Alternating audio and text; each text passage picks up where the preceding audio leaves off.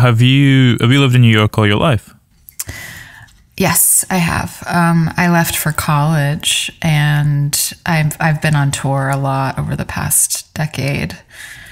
Uh, but I have lived in New York my whole life. I'm really a lifer. That's where I've always been based. Is New York quite a fruitful place for a lot of the, I guess, idiosyncratic maybe characters that we hear on the record? Uh, yeah, yeah. There, some of those characters I met in California. Um, some of them are friends. Some of them are, you know, complete strangers.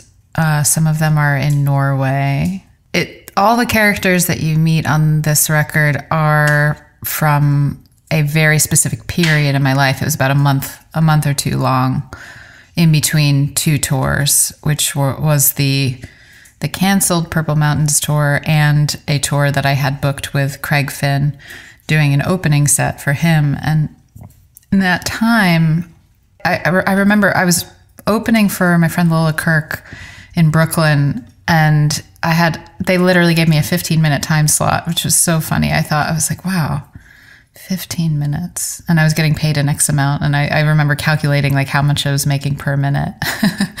um, but I got up there and I just could not play my old songs because so much had changed in my life in such a drastic and immediate way. So it was after that that show, I, I just I was like, the only way I can go on tour right now is if I write an entirely new catalog to play.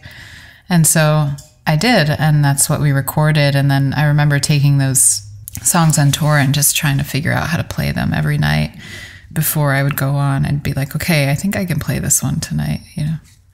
Were you aware of how much things had changed prior to that moment, or was that the kind of catalyst for that realization? Um, no, it was like as I was trying to gear up for that show, I ended up doing this. I mean, I do this a lot where if I feel sort of fed up with the music that I'm playing, I'll like, I ended up writing this. It, it was almost like a stand up set. I mean, and at one point it, it involved an exercise routine, and I had like, everyone doing jumping jacks with me and it felt sort of it was really fun and I realized like I could kind of get the audience to do anything with me at that point and so I did sort of a um, what do you call it just a mambo line around the venue and Lola said what are you doing? And uh, I have this music blasting behind me that I had I had triggered just with my phone and I was like I don't know. I'm going through a crisis. Get in line. And um it was at that moment, you know, that I was like, yeah, this I I can't do this opening for Craig Finn on tour. it's fine to do it at like a, a hometown Brooklyn show with one of my really good friends, but you know, for my 15 minute time slot. But I think I was like, yeah, I, I think this is fun, but I, I need to actually write something that I can present every night. Maybe it should be like music.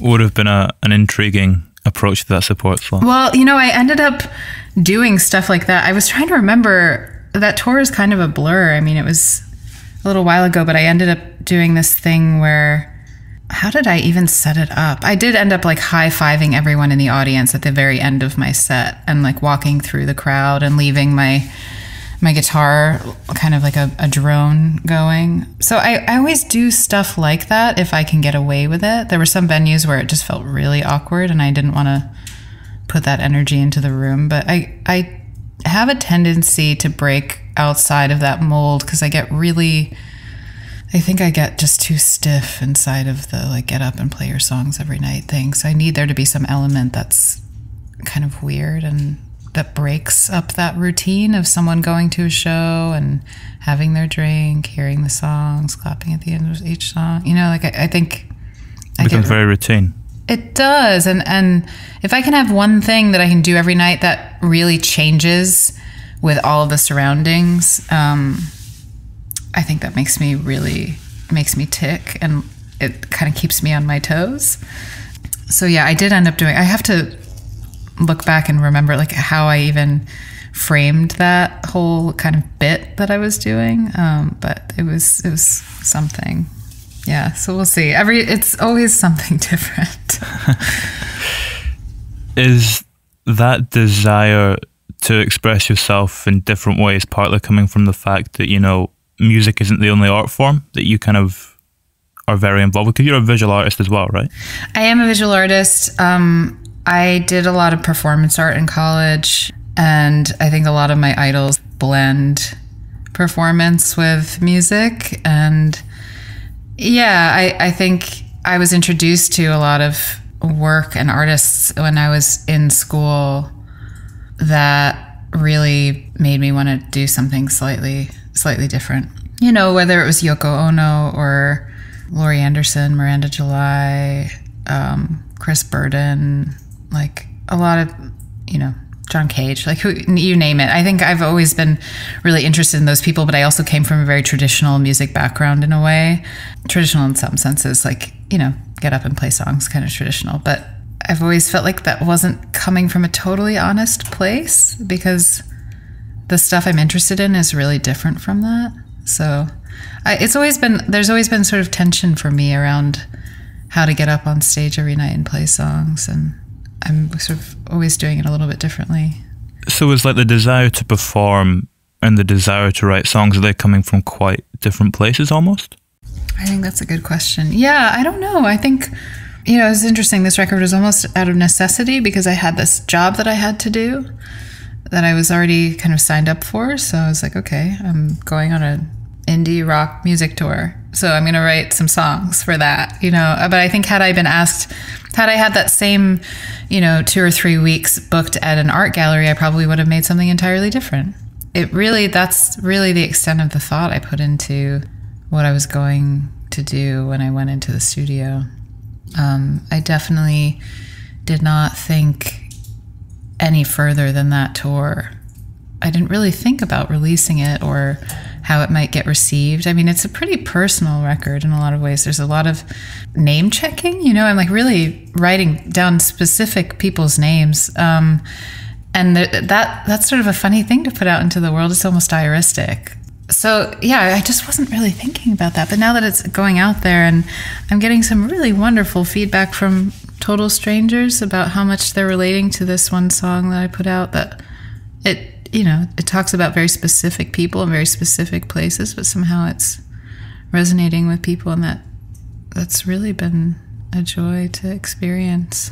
I feel really grateful. Was that Hard Drive the song? Yeah, it's just there? you know, I just put it out not even a week ago, and I I've gotten so many nice messages from strangers saying things like, "It was hard for me to get out of bed today, but this song helped me do that," and I'm counting along with you at the end of the song, and just those kinds of messages, like thinking that that song helped people get out of bed in the morning, actually really makes me feel so um, so good when I'm, especially when we're all so isolated.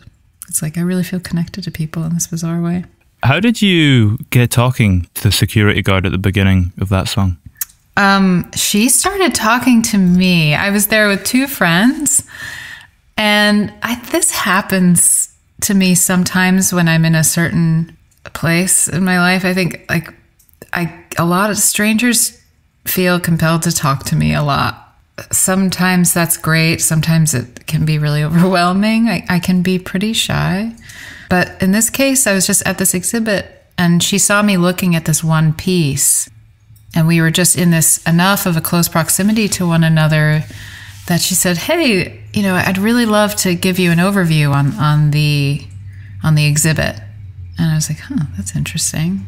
It it's not usually the role of a security guard to do that. And I I was intrigued by that because usually they're like almost like statues and they're not expected to or probably you know there's a certain code of conduct I think and a formality to the role of someone playing security and keeping the place secure. and I felt like she sort of broke down that role a little bit and sort of got oops sorry that was my my USB speaker I was listening to music um, so she she sort of broke down that that wall and became a tour guide but it was not an official tour it was her personal views on art on feminism, on politics, on spirituality. And it just, it was this happened to me a lot in this particular moment in my life with with that happened with the guy at the end of the seventh ray too. Um, it was almost like a spiritual filibustering or something, but it, not so. I mean, it was really pleasant. The guy at the end of the seventh ray was much more intense, but she just talked to me for about ten minutes. Um, it was this sort of monologue about everything she was thinking about, and I I thought at once it was I couldn't really pull myself away because she had already engaged me. I found a lot of what she was saying to be really interesting. And just she had these very clear opinions about things that uh, it just struck me. I was like, I, I don't know what brought us together in that moment. And so she she just sat there with me and my two friends and told us about the art that was surrounding us, but more really about her, I think. So I love that too when people present an opinion as though it's going to reflect something about the thing that they're talking about, but really it's it's really reflecting so much about them and their their spirit and the way that they think and when you open that door sometimes you just end up in these really unexpected places with people uh, and when you kind of like turn that key and i can i'm intrigued by that it's interesting what you say there as well that almost it's almost like most of what we see in art is like self projection. Oh yeah, for sure, definitely. There's there's a huge element of that in what she was doing. Um, but I love that she presented it as let me give you an overview on this. It's like, let me give you this objective, almost clinical synopsis of what you're seeing in front of you. She didn't present it as let me tell you my deepest thoughts about feminism and, and about the role of art in our lives. Uh, she presented it as an overview, which was a complete false advertising in this really delightful way. And I think that I, that's sort of why I like, I ended up going to that song and titling the record that because it's, of course, there's nothing about what I'm presenting to you, an overview on anything. It's like, let me take you on this um, diaristic ride through my life in this moment. It's just completely, completely from my perspective, and it's there's nothing um, objective about it. So I like that. Why do you think it is that people quite often come up and speak to you? Like the way you were saying that people often begin conversations yeah. with you instead of the other way around. I don't know. that happened to me. I was remembering that happened to me in Mexico too. I was there just shortly uh, before the pandemic started. Diego Rivera has this incredible collection of pre Columbian art. It's in Mexico City. And this guy just, in Spanish, I, I barely speak a lick of Spanish, just was following me around and, and pointing at things and saying, really, like, speaking really quickly in Spanish, knowing that I couldn't really understand him, just pointing at all these beautiful sculptures and telling me about them. And I could kind of pick out a couple words, but I sort of like nod and say, yeah, okay, thanks. I, I just kept saying like gracias. like, um, so it happens to me a lot in art museums.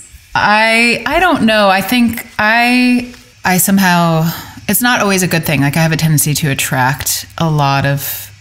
I think I just have a very open and maybe approachable energy, for lack of a better word, which has sometimes led me to meet more nefarious characters I, I think I just I, I just have this very open open energy that people just see me as someone that isn't going to judge them, which I think might I hope is true. I think I try to be. I mean, we're we're all judgmental um, to a certain extent, and I'm I definitely am trying to become more aware of when I am being judgmental. But I think in general, like I have a pretty open mind to what people have to say. I think I have this curiosity too, from sort of like a writer's perspective of experiencing other people's worldviews, um, even if they're very, very different from mine, and like kind of getting into their worlds. And so, yeah, I don't know. I'm curious, and I, I think I have this a sort of vulnerability to me too.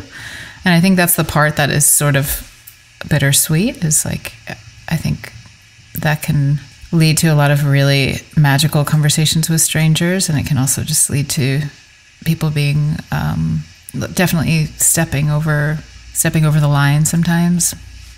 I'm also that person that everyone always asks me for directions, even if I'm in a foreign country. and that's I always I'm always very flattered by that. I'm like, wow, I, I guess I know like I look like someone who knows where they're going. uh, that's great because I really don't most of the time, unless I'm in New York, and then of course I'm very happy to give directions. There, there was another character I wanted to ask about. He maybe kind of fits into what we've been speaking about, but I don't think he's on the record. Richard Jasmine.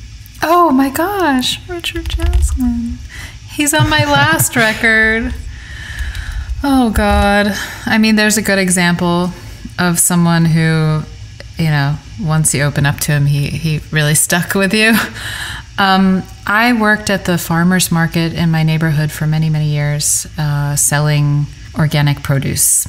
And every Sunday, Richard Jasmine, who at the time was 90 years old and, and up, is this was probably went on for about three years, would visit me and propose to me every Sunday.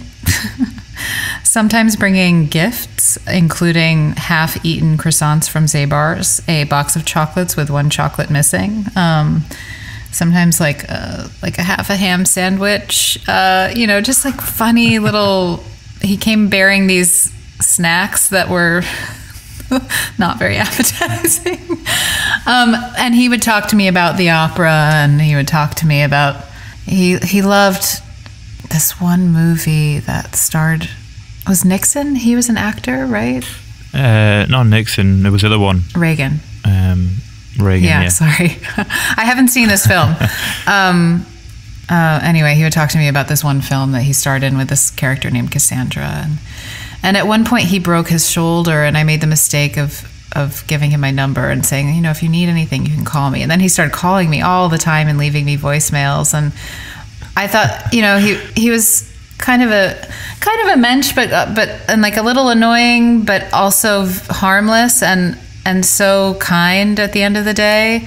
Um, and of course, it's this 90 year old man. He he had a, he wore this yellow sweater that had he had masking tape on the collar to keep it together and he would ride over on his bicycle. He definitely too like he lived in in a you know a fancy high rise too. It's just a very strange character, very charismatic. He would talk to everyone, um, and then you know, he would be absolutely unaware of the line that was building behind him of all the people trying to buy produce while he was trying to propose to me. Um, anyway, I gave him my my number at that point, and I did end up giving him some herbs while his shoulder was broken. He had fallen off his bicycle, and he left me all these voicemails. And every time I would get one, I thought, "Oh God, he's called again! Like, when is he going to give up this act?" And then I started saving them, and he would say some occasionally really beautiful things um, because I think we developed this rapport where I never responded. So it was almost like he would leave me this these messages as if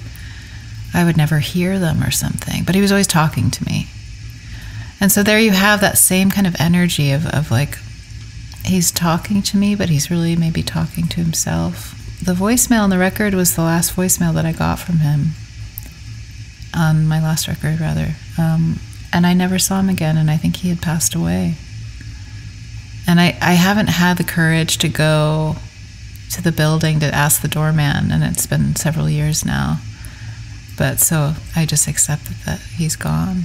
But, um, you know, I think I was this character at the market. I was a character for other people too. I was people called me like lettuce girl. I would always hear little kids walk by and say lettuce girl, and so you know I, I was this lettuce girl on the weekends who uh, at you know, at night was playing shows, and so people would talk to me about my music, and I think he was one of them, and um, it was just this very sort of provincial uh, relationship, and I look back on it very fondly, and I miss I miss working at the market. I couldn't do the late nights, early mornings anymore. It's interesting to get a window into someone's life in that way where you're seeing them at their kind of point of completion, if that makes sense. That they've kind of amassed all this wisdom and experience, and this is the kind of completely distilled version yeah. of them in a yeah. working away. Yeah, absolutely. That's that's pretty beautiful. It's similar as well on the record in the way that he, you know, would he was very tied to that specific part of your life working at the market. It's it's similar on the record in the same way that the voices kind of float in and out, and they become characters and they kind of drift in, and we hear them for a bit, and then they they slip away again and slip out of the mix.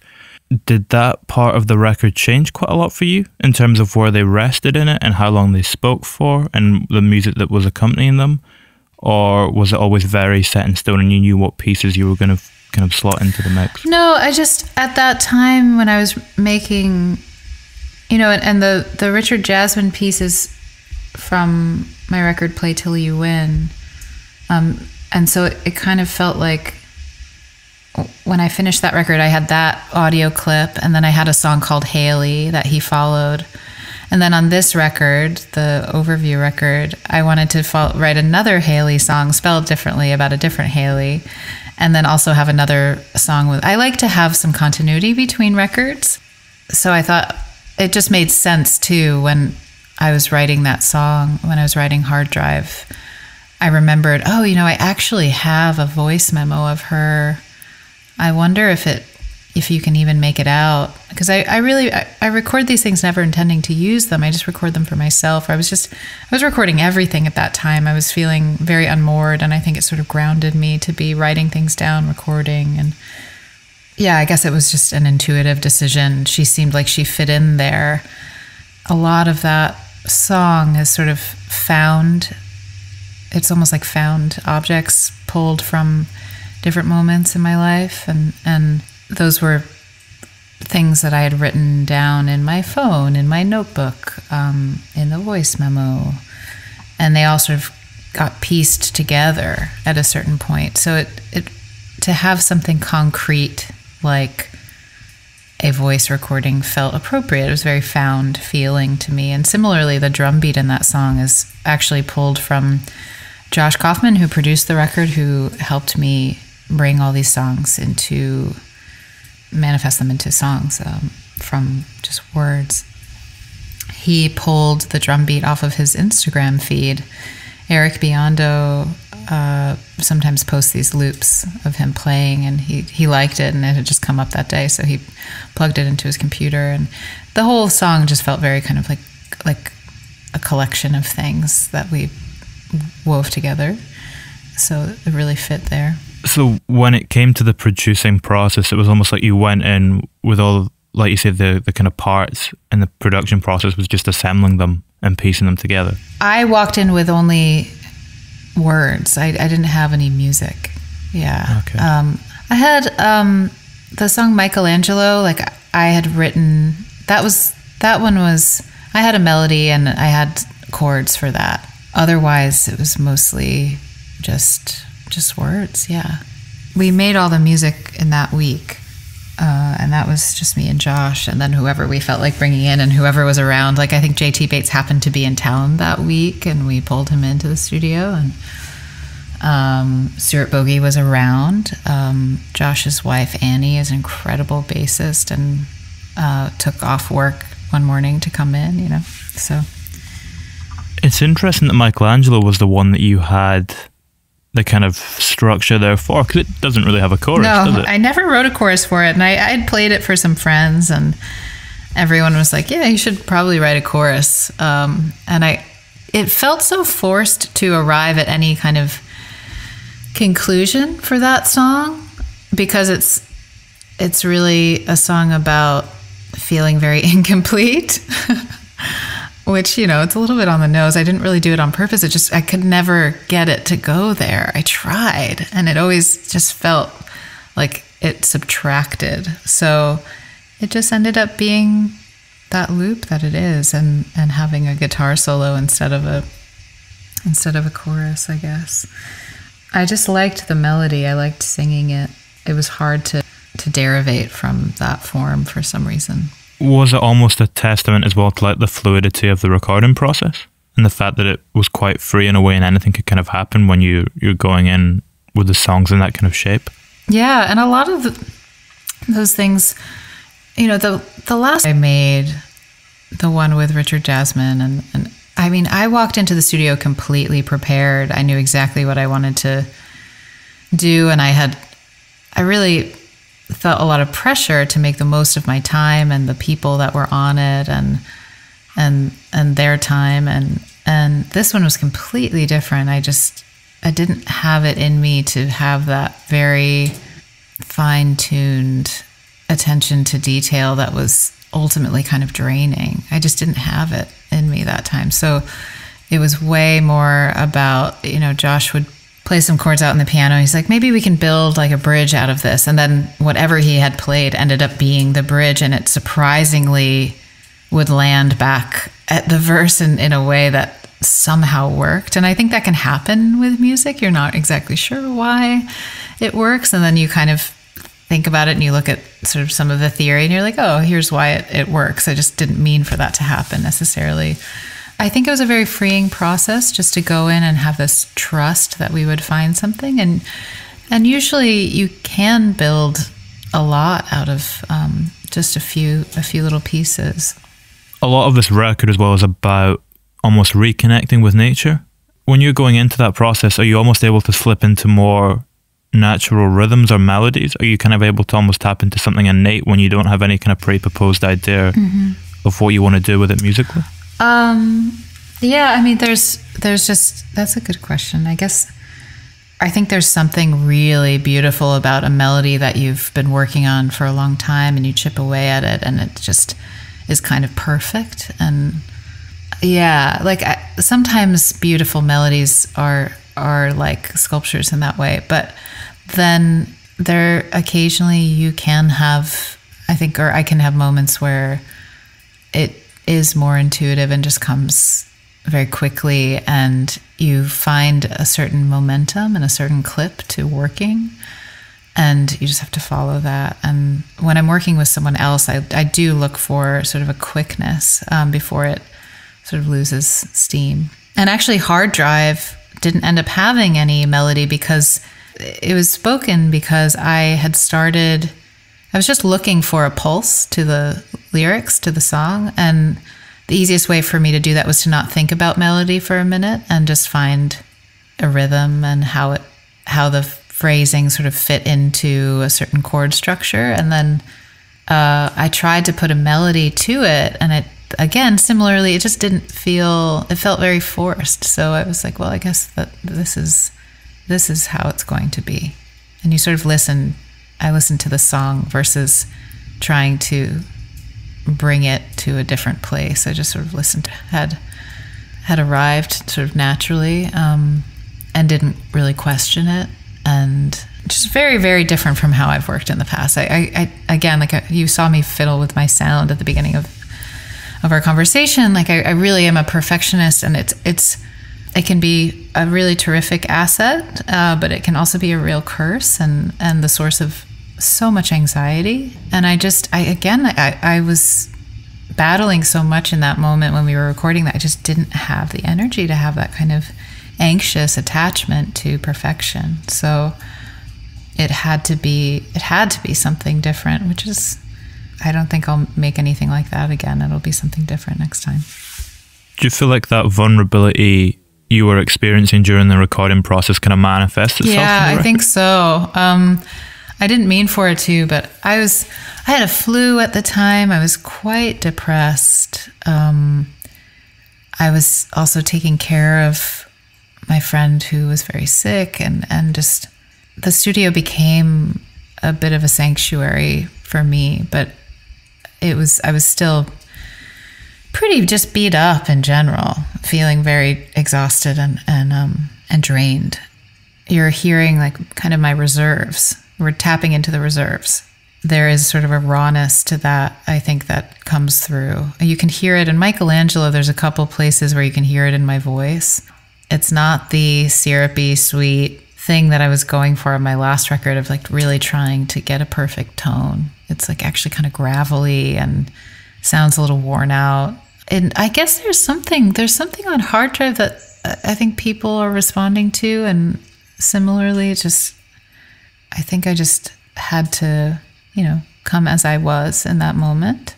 In a way, that's a tremendous gift to myself now because I don't have to strain to try to sing something that's like in a key that's hard for me because I wanted it to be in that key. And I don't have to put on a different face to get on stage and sing something that's about feeling a little bit beat up around the edges and and uh, feeling confused about about things or where I'm going, you know, because that's that's what these songs are. So it's it's actually now in this moment like a it's just these are songs that I can sing because I can I can actually sit inside of them quite comfortably.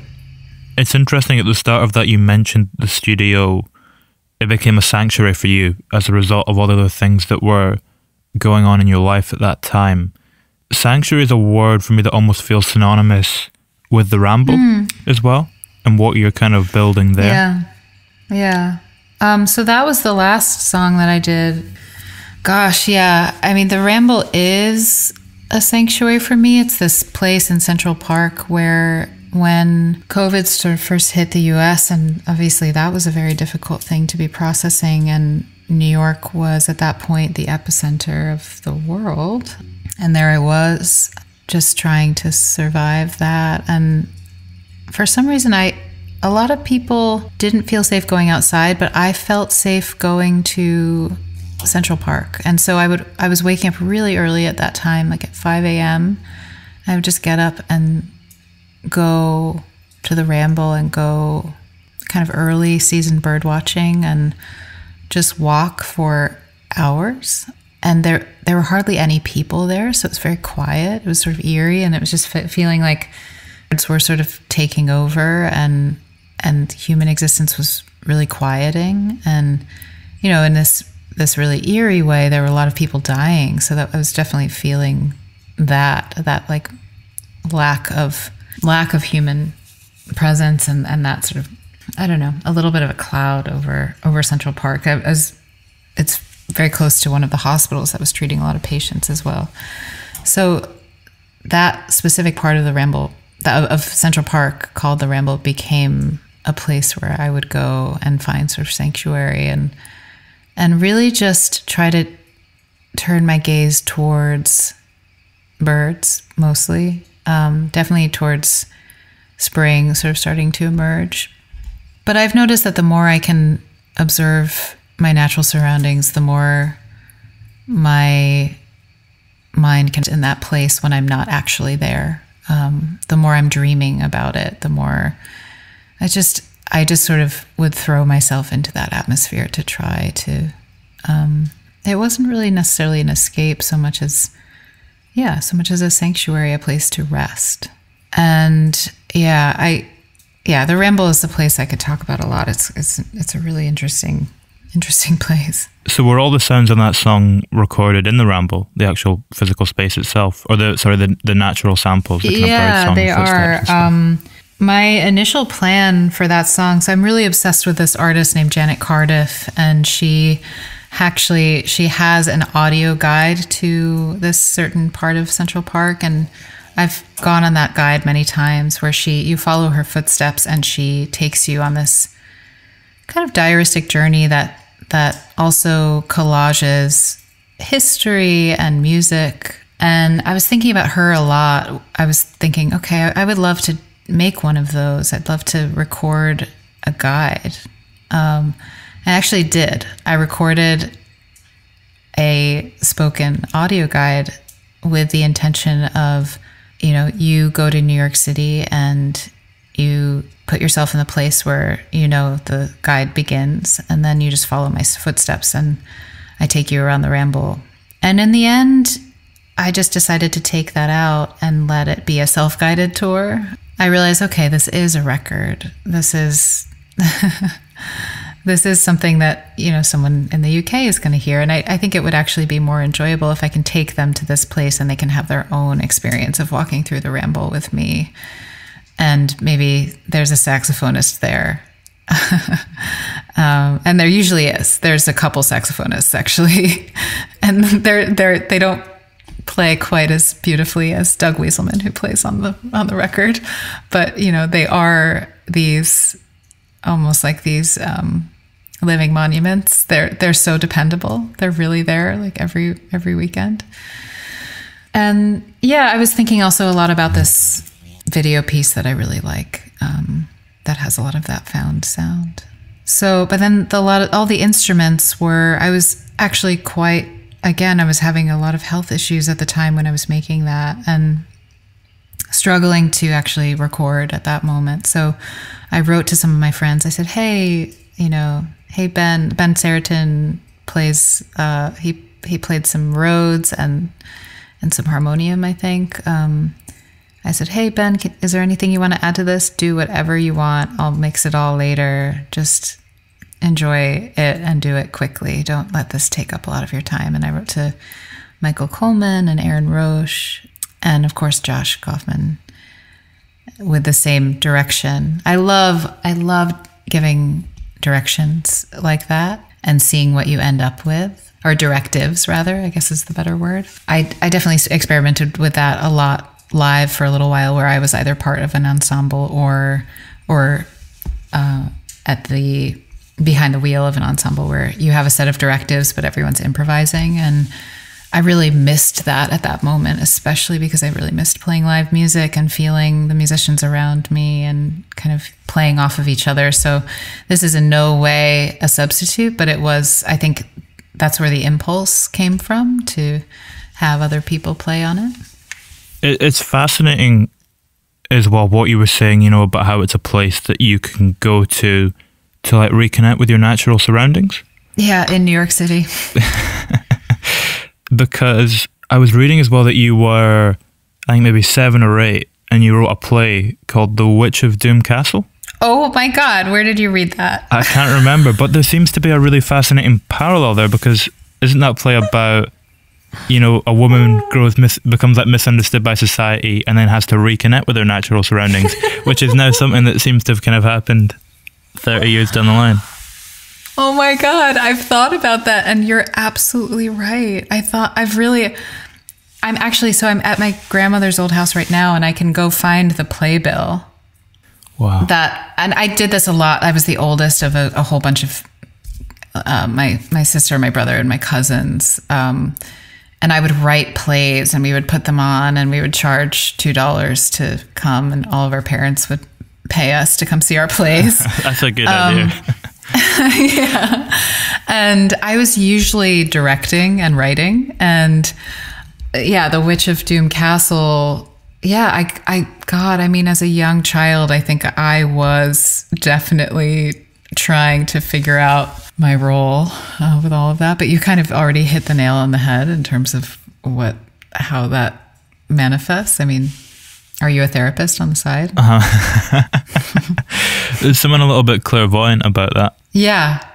It's funny. I think that impulse is not not not left me. And, and there's also I'm I'm reading this book right now called Cassandra Speaks. It's written by the woman who runs the Omega Center, which is sort of a, a, a wellness center, I guess, in upstate New York. And she talks a lot about the the myth of Cassandra, and of course, this is a myth that I've known about for a long time. And and similarly, I'm unfamiliar with this myth. What, oh. what exactly is the the kind of outline of it? Well, I'm I'm gonna out myself right now too because I was gonna say uh, when I meet strangers, sometimes they they find out my name, they say, "Oh, like like Cassandra, the uh, the Greek princess, and I'm like, yep, that's the one. and then they go. I'm always like, what version of the story do you know? And then I inevitably get a different version every single time, which of course. You end up getting to know more about the person and the way that they tell the story because there is this kind of through line of this this Greek myth. Uh, but basically, she was a Greek princess who was courted by Apollo who was in love with her and this is one story. There are a few other versions but this is the one that i i kind of feel the is the, my version um the definitive version. Yeah the director's cut. fall, yeah yeah from coming from the uh, uh, cassandra herself. Um she he falls in love with her. He gives her the gift of clairvoyance. And when she doesn't want to, basically, when she doesn't want to sleep with him, he gets really upset and has a fit and then spits in her mouth, which is Ugh. Um, a curse by by which he allows her to keep her clairvoyance. However, no one will believe her. And so here you have this clairvoyant princess. She's she's really beautiful and well respected and and then suddenly this curse is put on her where she is starts predicting things and and talking to people about them, especially catastrophe and no one believes her. So she ends up sort of going going mad because she predicts things like the Trojan War and uh, other catastrophes, and unfortunately is driven mad by the fact that she has this gift, but no one will accept it. And, you know, there's this. I don't need to go too deep into this at the moment, but I, I have thought about that a lot. I think when we think about that myth, we can also think about how a lot of women, I think, feel and have felt for a long time in terms of having their voices be heard. And I, I think similar to what the security guard is saying at, at the Met Breuer, we really need women's voices uh, in the balance. Um, otherwise, we're going to continue to be off balance. And and I think Cassandra's myth is a, a good reminder of that. Um, but it is, of course, very tragic. And so you have this what this psychology term, which is called the Cassandra complex, which is that you feel like no one believes you, even though you're seeing a sort of like element of truth around you, um, and and sort of how that can be sort of maddening.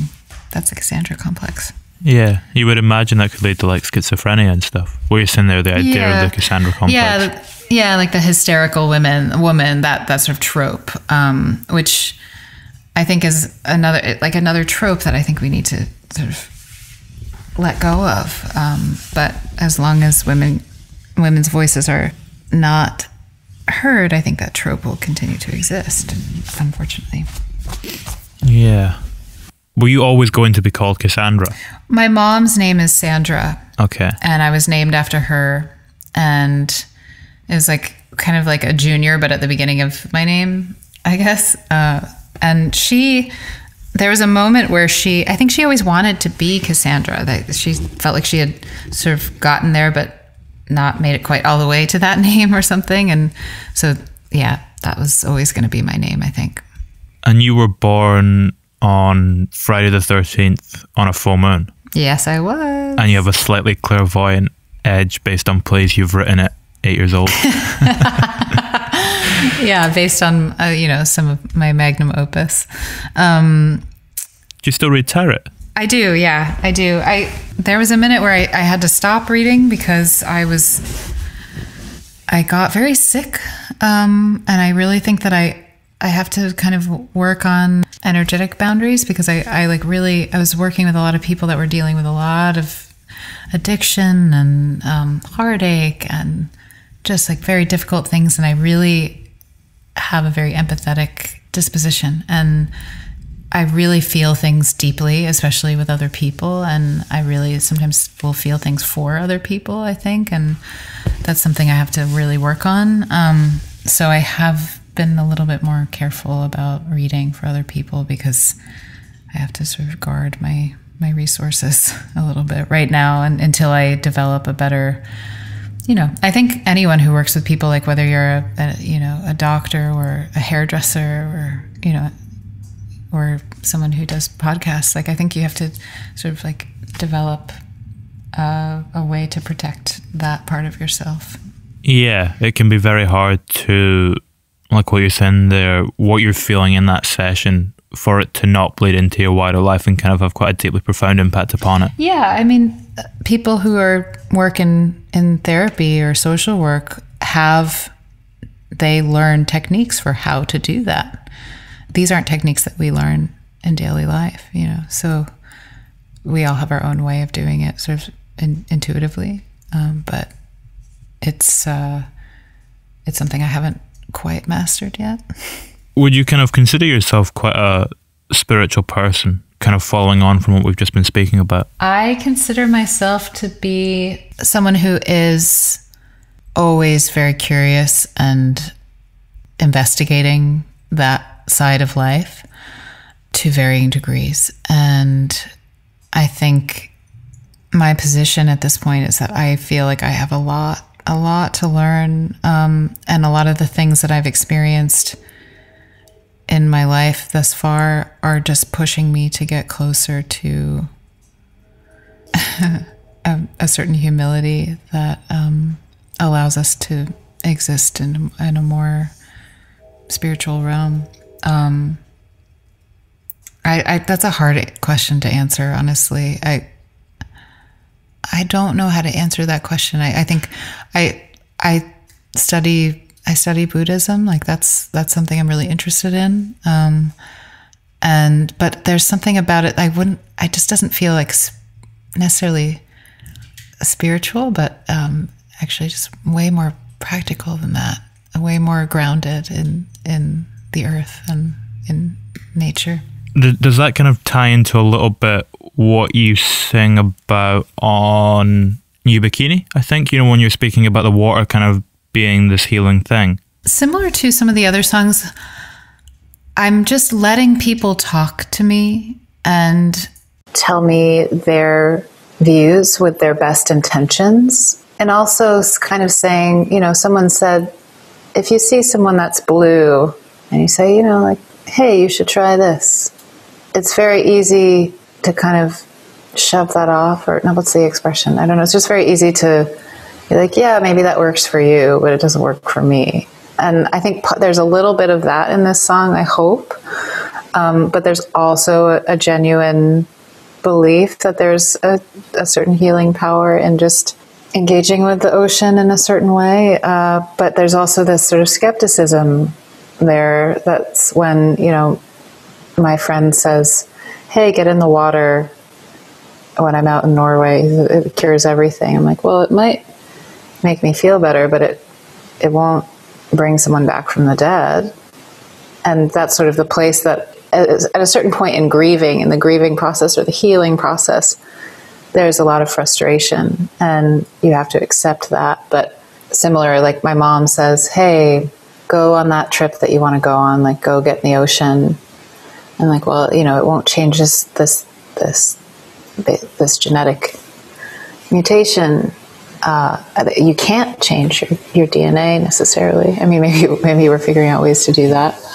Um, I know that the new vaccine, for example, like is going to your RNA, um, but you know there there are certain things that are are pretty much set in stone, and I'm I'm kind of saying, well, I can't I can't change my DNA, mom, but she's but she's saying, go ahead, go just go to the ocean and and similar. Like my friend's really sick, and we I, we probably can't fix it by going to the beach, but there's actually a lot of power in in soothing certain aspects of the mind and and ways that we can do that just by accessing nature.